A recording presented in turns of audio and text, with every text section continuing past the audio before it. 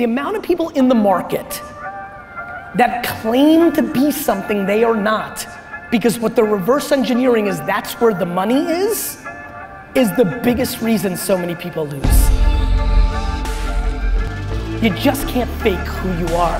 You can't manufacture it. You can't want it. So many people in here want to be business coaches and they've never built a fucking business.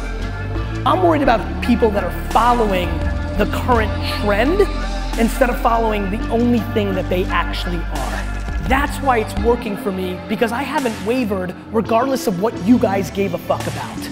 And guess what? Entrepreneurship's not gonna be cool one day soon too. And let me promise you the quickest way to win. And I don't mean money, I mean win. Playing in a way that feels right to you before it feels right to anybody else around you. And I promise you that the majority of you are not. Who do we cherish and who do we put on pedestal?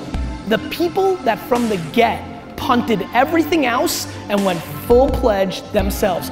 When you were all in on your shit, and we now live in a world where the internet creates niche communities around every fucking thing you could ever imagine, that is an unbelievable blessing to all of us that our grandparents didn't have an opportunity in.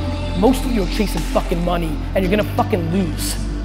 I hope you think about what are you good at? Or what's the truest essence of who you are? Because those are the only two things that create the upside that people chase. The people that hustle the most are the happiest, not the saddest. And the reason I push hustle so much is because it feels like the most fucking controllable thing to change the outcome of what disappoints you.